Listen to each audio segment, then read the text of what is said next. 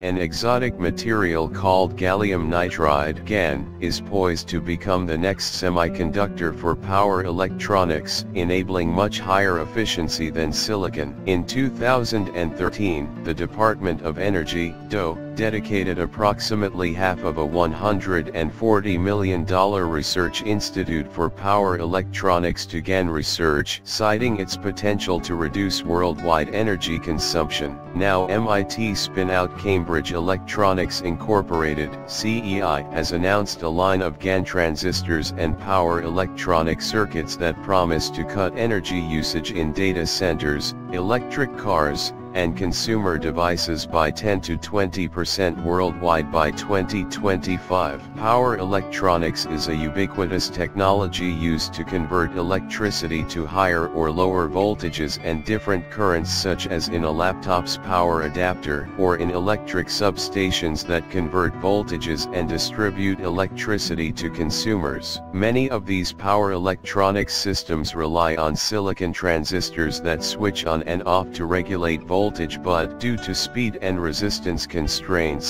waste energy as heat. CEI's GaN transistors have at least one-tenth the resistance of such silicon-based transistors according to the company. This allows for much higher energy efficiency and orders of magnitude faster switching frequency meaning power electronics systems with these components can be made much smaller. CEI is using its transistors to enable power electronics that will make data centers less energy intensive, electric cars cheaper and more powerful, and laptop power adapters one-third the size or even small enough to fit inside the computer itself.